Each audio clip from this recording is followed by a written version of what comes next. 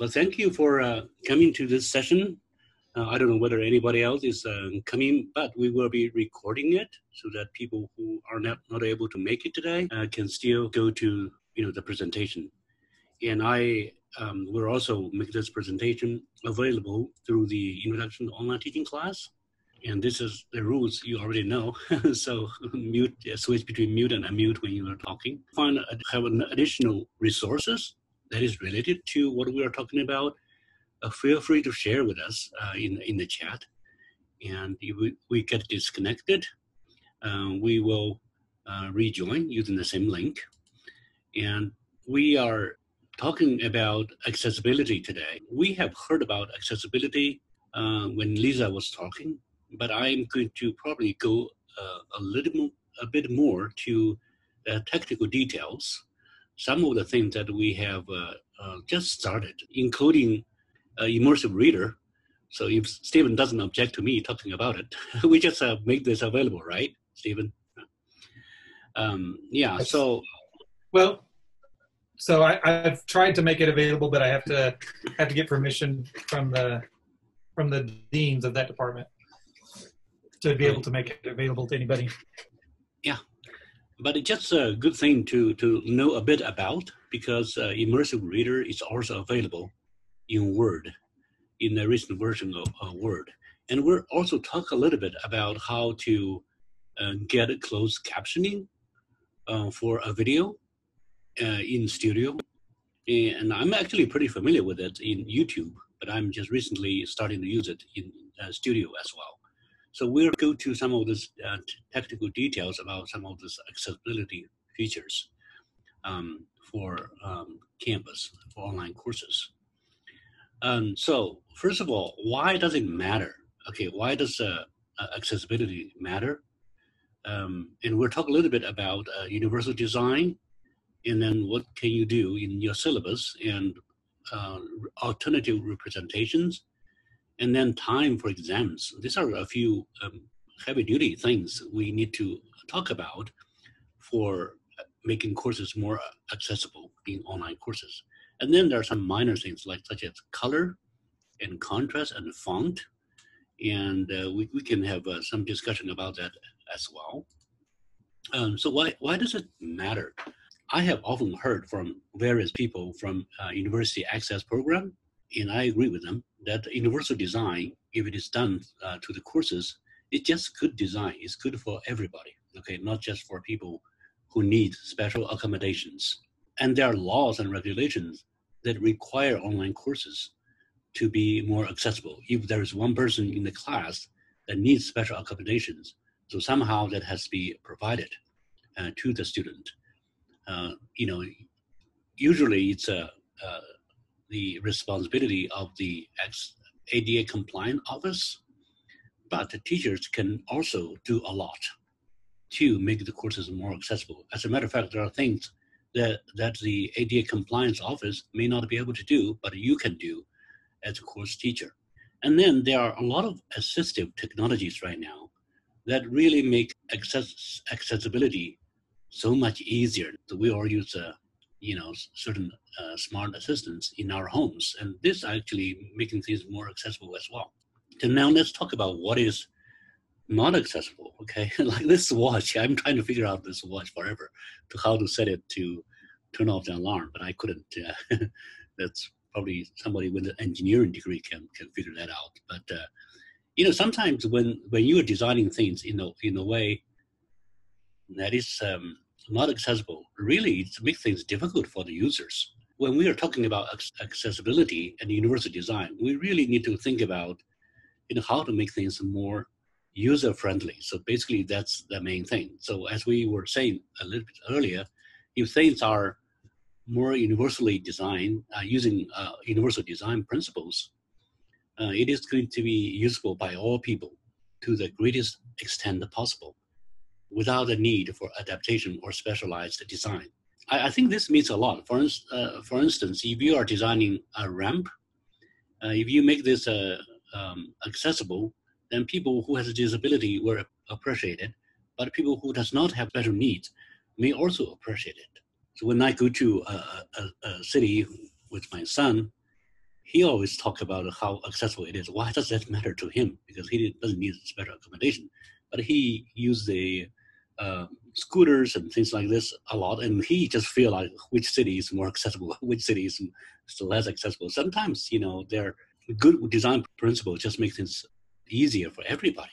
Um, so th- these are a few main principles for uh, universal design.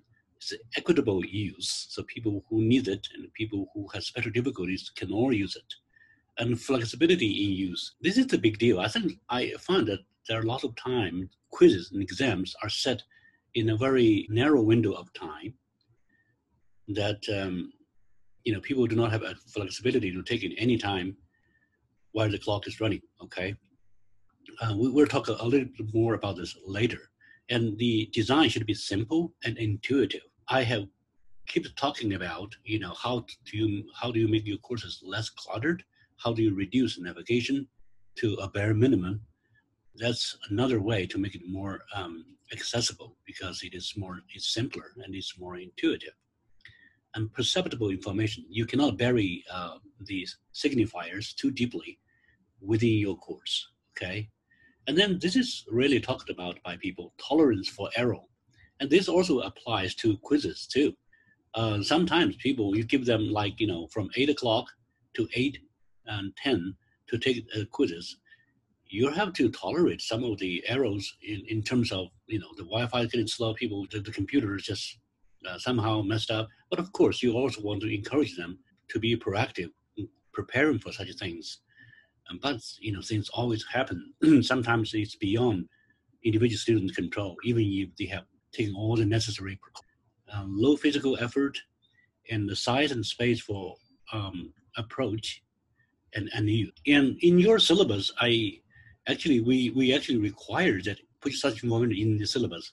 It's a good idea to um, put the ADA compliance statement in your syllabus, and we actually have the the more updated version in our um, template. And if you ask us for it, we can also give it to you. And uh, one of the things that people often think about when talking about accessibility is uh, alternative representations. I mean, when you provide uh, students information in a certain format, and people who cannot access it through that format, they should be provided alternative representation. So you will also uh, you will often hear about alt text. I just start to use this alt text everywhere, just even in, in the PowerPoint. Okay, if I just uh, get out of my full screen view, um, you will see uh, I can actually click on something, click on the picture here, and I put a alternative text here. Did you see that? Screenshot from YouTube video showing the closed captioning function. So this are actually uh, available even in Google Slides now. So if you just right click on it, it, you will, it will um, uh, ask you to provide some kind of alternative representation there. In, in Canvas, when you are adding a, a picture, it is going to ask you for alternative text, right? So when you are just adding a picture, it is asking you for that. So try to describe that picture when you are adding a picture. Describe what it is. Imagine uh, when you have a, a student who is blind, and then the student is going to have their JAWS program read that that screen to them. When they hover over that picture, what does the picture tell them? Just imagine that scenario. When I was working in West Virginia uh, some years ago, I actually have a student worker who is blind, and she actually review all the courses for us to make sure everything is uh, is uh, compliant. And actually, I learned quite a bit from, from from her because she's in the same office, and I can actually hear her jaws reading the things, uh, the screens to them.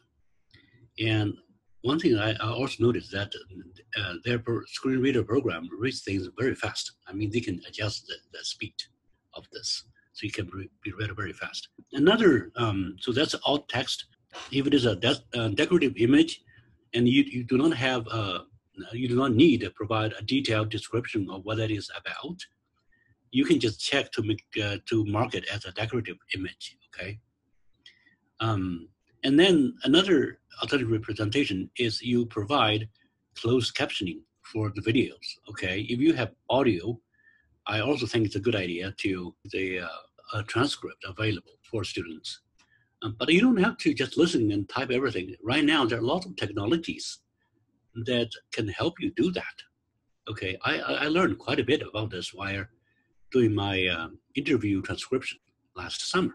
Okay, I just uh, transcribed all of this using a, a, software, and it's actually working very, very well. Although it's con- uh, kind of artificial intelligence enabled, it's not done by humans. Um, in terms of time, I think we one thing to make things more accessible is to make quizzes.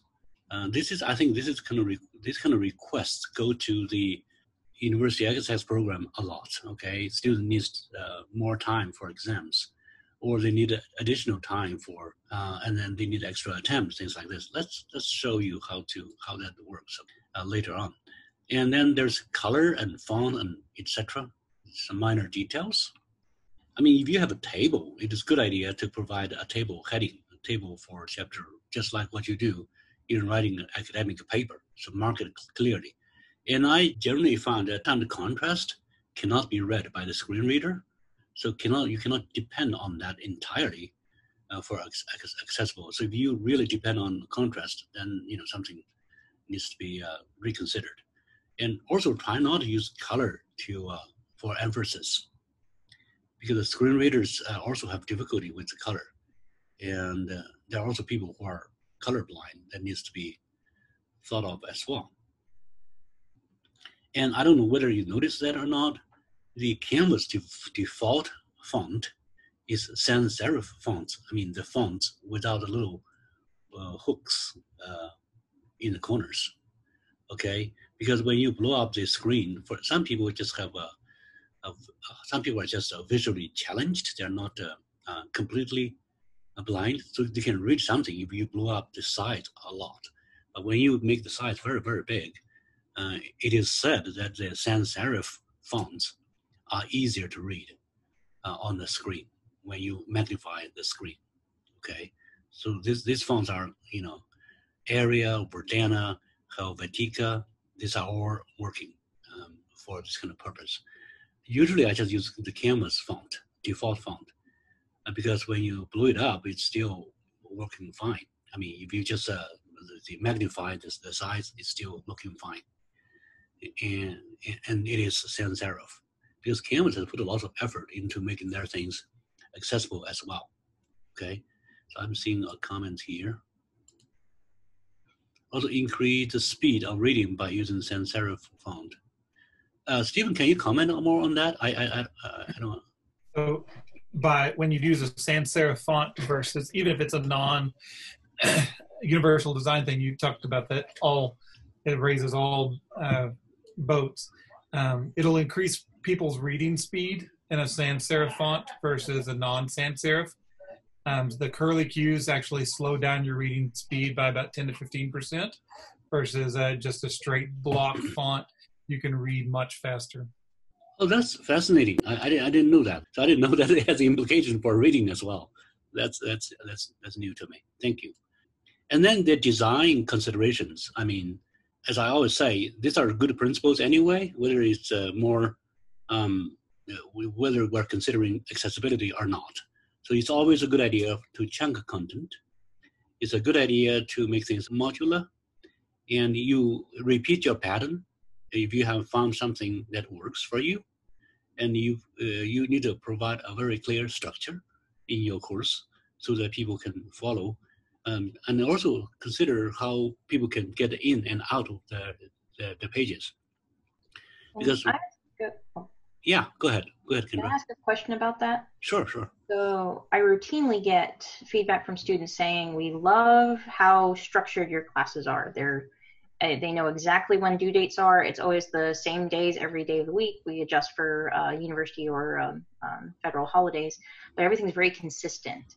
And so, on the one hand, every everything's very predictable. But on the flip side, I also get an equal number of students saying, "We get bored so fast."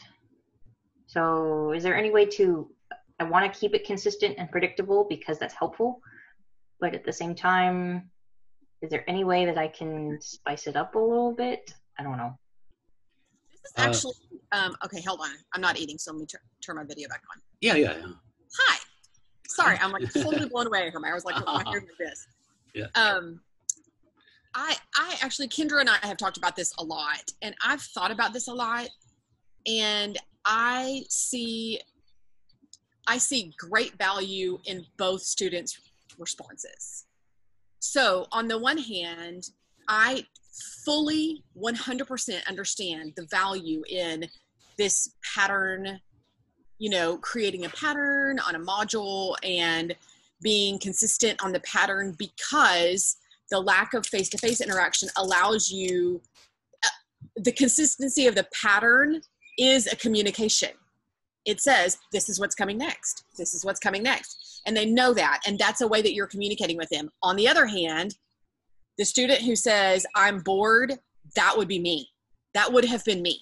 I would have lost my marbles as an 18 to 22 year old doing online classes that only were formulaic. I, I could not have done it just because that's not the way i'm wired. And so there is a part of me that has wondered and berlin speak to this because i don't know the answer. Um, what would be the value in creating your pattern of whatever it is readings a video a quiz and a discussion whatever it is and that just repeat throughout? And then at the beginning of the let's say it's the long semester let's say it's 15 weeks that in the at the beginning of the semester you alert the students that on weeks three six nine and 12 i don't know there's going to be a variation to the pattern and there's going to be a completely different kind of an assignment and that you lay that out up front. So it's not part of the pattern. It's like this extra thing. Could that be somewhat of a happy medium perhaps? Yeah, um, I, I think Amy, thank you for uh, for uh, answering this question. I have uh, my thoughts about this is that Kendra, you still have to persist in the uh, in the uh, same pattern um, because it as per, uh, makes things more predictable for the students. Um, they will appreciate it more once they go to a course that is not organized that way. so there are students who will feel completely lost where to go or they just uh, you know fish for things uh, from files. Uh, so uh, I, I mean, I will still encourage you to stick to that pattern. However, introduce some variety in the way you present your content. Okay, uh, for instance, uh, some can be. Um, for if you go to my introduction to online teaching, you will see that I use a mind map sometimes in my presentation. I just pull up my iPad. It's the same. You also see a video every week I have several videos, but some weeks I, the, the video is produced by me talking, or sometimes uh, a video that, that is uh, me trying to show some PowerPoint. Sometimes the video can be a video of you using um, uh, some kind of mind mapping software. And there are some, uh, some other um, free sites that can spice up your content, like you know h5p.org provides lots of things that students can use to interact with the content. Okay, um, and and this is um, something free that you can that you can use. Okay, so uh, just think of more ways to present your content. And another way, you know, as some people are doing, just maybe just bury some Easter eggs uh, in your content. so some, I know some people have been doing this. So there are different ways you, you can do this. Um, yeah, I mean, I, I understand the uh, um, the students complain about um, how the the format can be can be boring. Um, but I mean, it's a lesser evil, in my opinion, than you know disorganized disorganization. Uh, but also, I mean, you can work on the, the content itself to make it more um, jazzy. I don't know what how you call it, uh, spicy. Yeah. so that's. The I can do my video lectures with jazz hands. yes, yes. Your videos are great, by the way. So I love all your videos. Yeah. Um, so accessibility technologies, let's talk a little bit about uh, technology, test moderation. Uh, I am going to actually show you one of those, I'm not going to repeat this, uh, this uh, slides.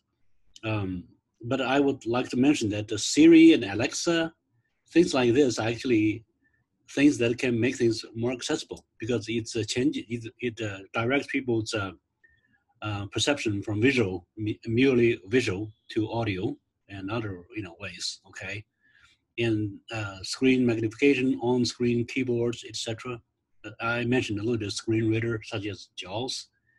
Uh, that is actually used by a lot of people who has visual challenges to access information. Uh, and, and now let me talk a little bit about several of the technologies that um, we haven't talked about uh, a lot.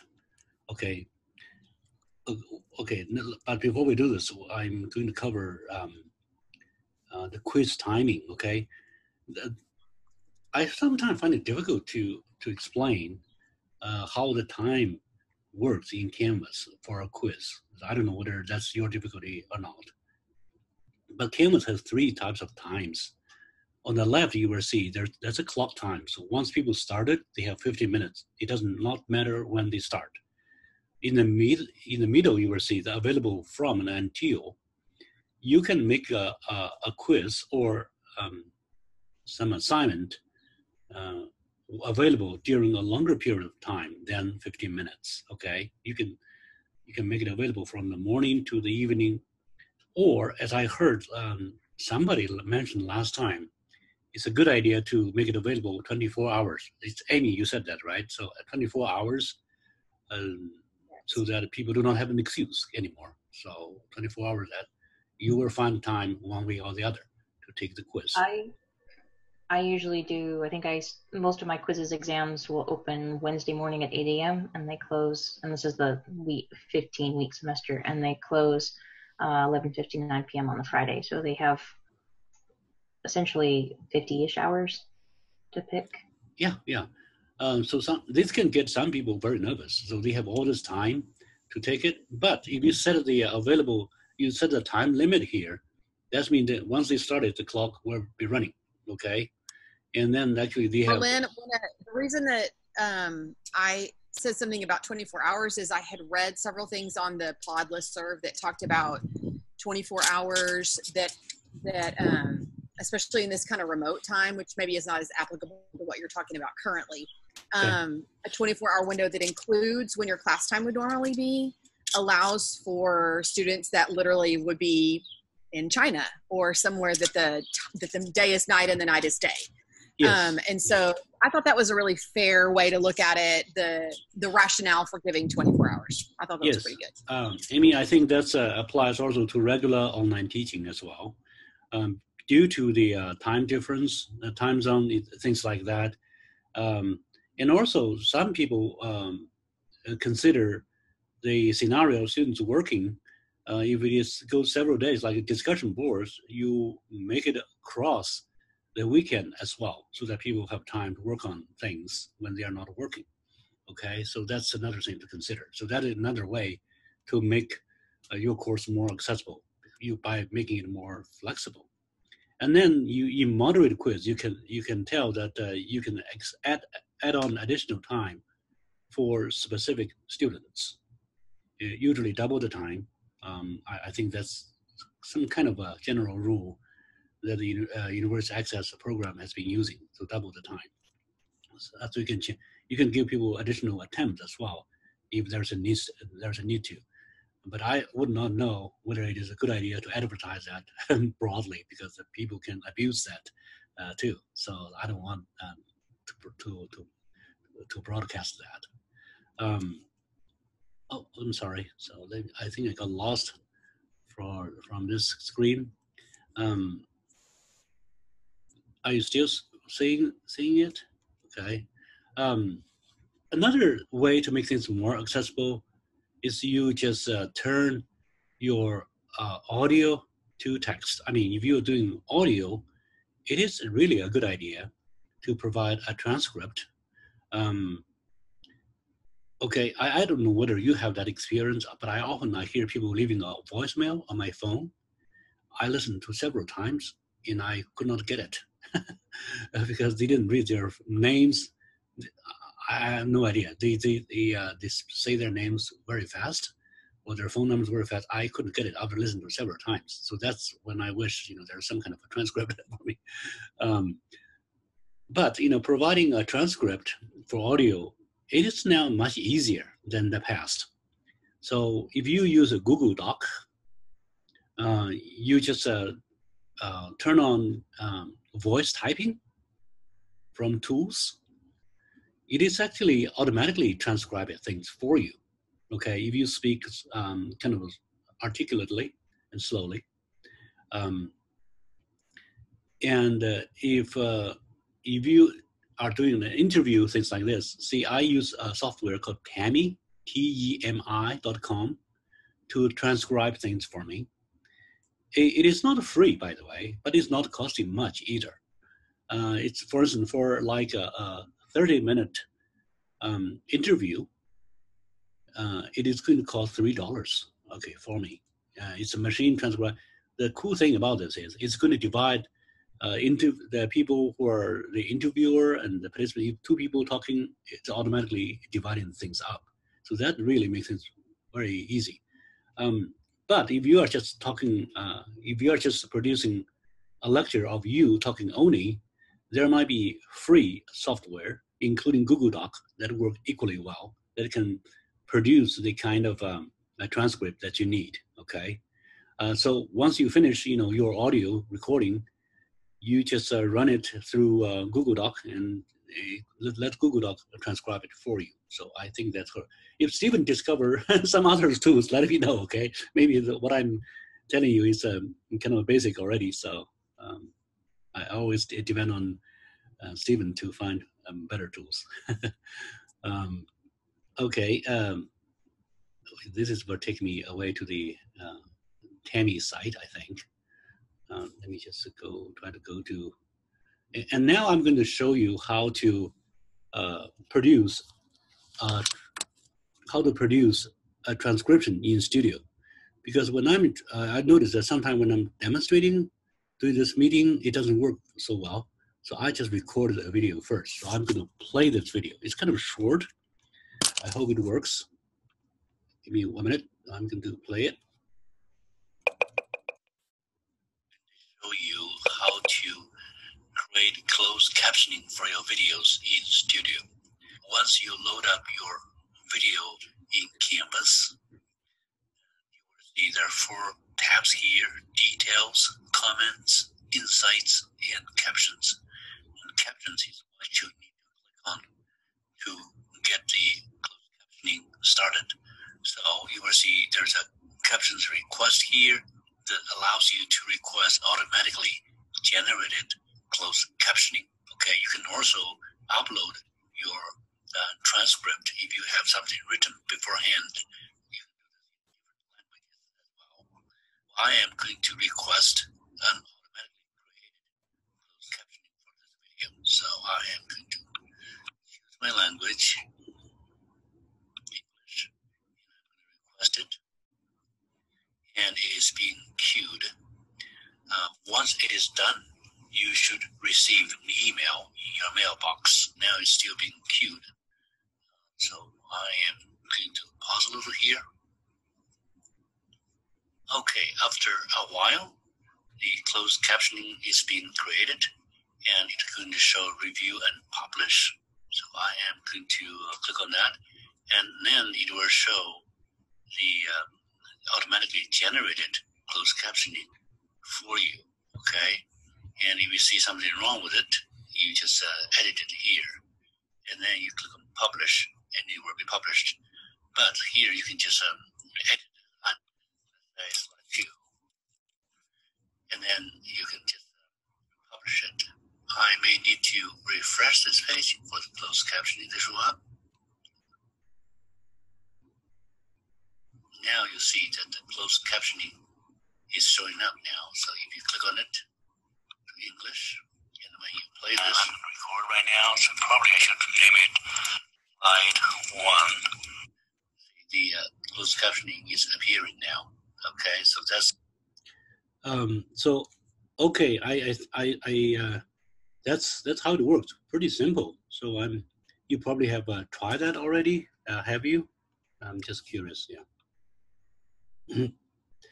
Uh, it's it's very easy to to to use, and you can do the same with uh, uh, YouTube videos as well. Um, I noticed that when you just put a video from YouTube into Canvas, into Studio, uh, closed captioning does not work. uh, in Studio. Basically, you will have to uh, do the uh, closed captioning in YouTube. Okay, the source at the source. Um, but it's the same process. I mean, YouTube is also automatically generated generate uh, uh, a transcription for you too. So that that's how you gener- generate this automatically. I just find it pretty accurate, actually.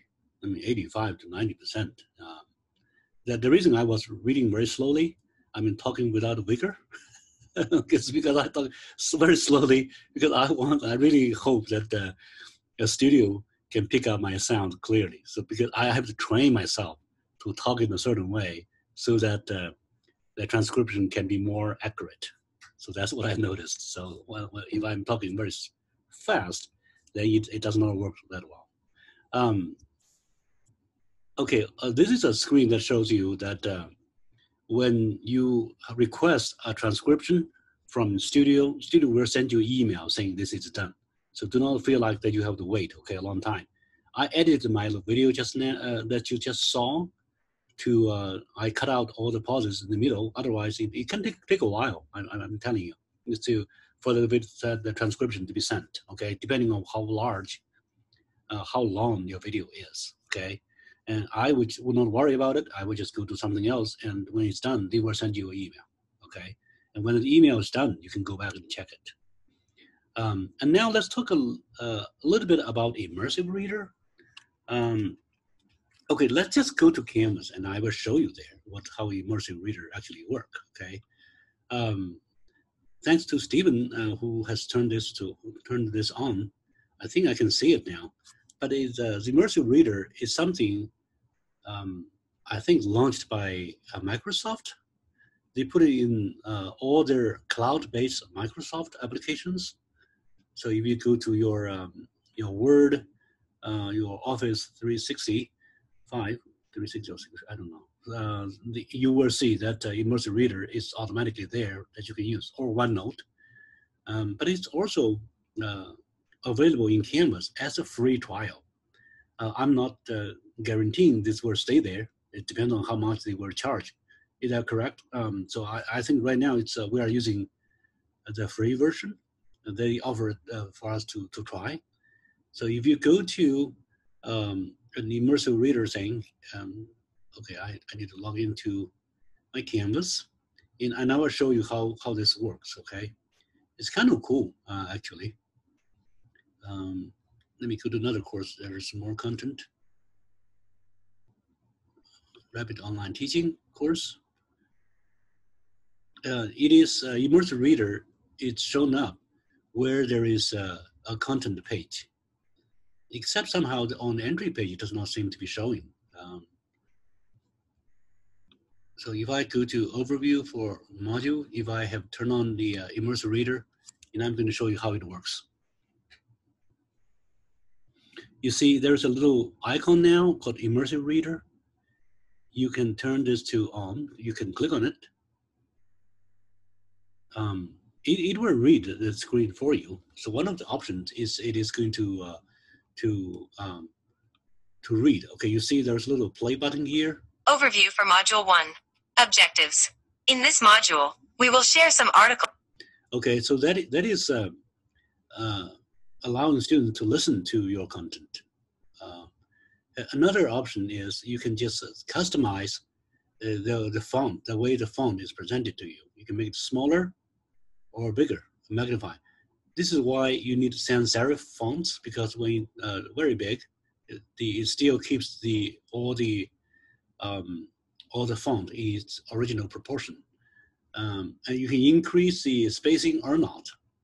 Now it's uh, more condensed to each other. So actually, I like this better. And there are a number of fonts you can choose. Look at this. You can now use uh, Comic Sans now in courses. I, am I'm, I'm sure there are lots of people who like that, and lots of people who also hate that. My my son my son Andrew would be highly offended. He thinks that Comic Sans is just an embarrassing joke of a font. it's some huge issue for him. I don't know for what whatever reason, this is one of the favorite fonts um, by teachers. That's so funny. Yeah, so it is. It is uh, although it's like that, and people like it people like using it. You can also change the background and the way you read it. I just found this to be uh, pretty helpful because sometimes with white background, the glare is going to hurt an eye if people stay too long on the screen. Uh, maybe you can change the uh, uh the way it is uh, presented to you. So these are all things you can change. Um, now you can click on grammar options. It also going to mark nouns, verbs, adjectives, and adverbs. This can be good for language learners. And then um, there is a reading. Uh, I believe there's also an option for you to translate this uh, into another language. So I don't know where, where that option. Oh, here, here it is. Okay, let's say I want to uh, see this in Chinese, okay? I can turn this to Chinese. Uh, you can do word by word. That means if you click on word, it's going to show you the language. I mean, this is would be very helpful for uh, for classes that have uh, you know students from another country. Uh, you can also just um, let me show you another thing. You can also translate the entire document. See, now somehow this is uh, in Chinese. I don't think the translation is very good, but it is give people the gist of it. Okay. That was what I was going to ask you. Is the translation very good? well, actually, let me see. Uh, it's kind of off, uh, kind of off. Okay, I'm telling you. So this is a, uh, it's just like a automatic transcription uh, by uh, Tammy. This needs somebody to edit it, okay, before it can can be used. But it can for very beginners, they can just actually get the main idea. It can help them a little bit, and and people will understand that the translation is not perfect. Okay, I, I think that's that's the thing. They will understand the trans translation is not perfect there. Um, but this is this is uh, available for you to to use now. So I, let me just turn this back to okay back to English. But the cool thing is, it's just switching back and forth if you uh, decide to uh, to use it. Okay, um, that's that's the uh, um, immersive reader. I also think that is available in some other um, applications like um, Word, OneNote, as I mentioned earlier. Um, so that that's that's pretty cool. Yeah. Um, some people are very excited about the option, but some people are not as excited about this. So it's it's um, you know it really depends on the needs. I I mean um, Lisa's office probably very appreciate having this as one of the options. Um, I personally enjoy hearing some of the content uh, rather than just uh, reading it all the time. Have Have you noticed that uh, lots of uh, things now can have things read to you? Um, I recently just started to enjoy listening to the Bible rather than reading the Bible because when I'm walking, I can just listen. I can just um, put the play on and start to listen to it. So that's really uh, something convenient for me. Yeah. And that's that's it. I mean, that's all we we have. I have for today. Any other ideas about about accessibility that you think I should have covered that I haven't? Um, um, I have a question. So Sure. I ran I ran into a situation in my 15 week classes. I have uh, the students do a group video project together, and I had a student with um, um, health issues or um, uh, things that required accommodation, and she was not able to speak in the video, and so I just wanted to kind of see. Uh, I mean, I worked with her. I worked with uh, university programs, and we were able to come to a con- uh, conclusion, but any thoughts on something like that? So Susan, who cannot speak. Um, I'm I'm I, I'm just thinking about you know uh, I haven't talked about the product technology for um, turning text to speak to speech. So I know that uh, with the immersive reader, you can you can read. Uh, so that's going to be a, like some, some kind of artificial voice added to the video. So that is possible. So somebody can help maybe generate that, maybe that have that student uh, type certain things, write certain things, and let the immersive reader uh, read that and record that and in, in, insert into the into the um, the video. I don't know whether that's a solution you can consider or not. Um, there might be other tools for uh, that produce uh, text from text to to audio, um, but I haven't found found a free one yet. It usually costs some money um, to purchase. Yeah, yeah. The immersive reader, and you can have immersive reader read it, and then uh, use Audacity or GarageBand to record it into an audio clip, and that can be inserted in, into that video. I mean, maybe you, ha- you ha- can have the students work on that, their groups work on that. There's lots of technologies. You can use Adobe Rush to move an MP3 file to an MP4, right? Oh, okay. Uh, is that right, uh, Stephen? I, I don't know. Uh, uh, I'm not very familiar with Adobe Rush. Yeah. I know you can in Premiere. I have not tried to do that in Rush yet. I think some of my students are um, in my environmental thought class did that with some uh, uh, their MP3s. Yeah, I, I just haven't tried to do it, so I don't. Uh, I know that there's file conversions in Premiere that work pretty well, but I have not tried to. I just haven't tried to do it in Rush. I couldn't speak to that specifically. Okay. Uh, you, if you're talking about conversion from uh, MP4 uh, to MP3, um, then you can actually uh, use uh, something called Smart Converter. Uh, that can convert an MP4 into MP3. Uh, it's free software. Um, that, that's what I use a lot. Yeah. Okay. Any other thoughts? Thank you for uh, helping us out again, Berlin. Thank you so much for attending. Okay. Uh, you take care, and I will record it, and uh, the link will be shared uh, at Adams Center site or Vimeo site. Thank you so much for everybody.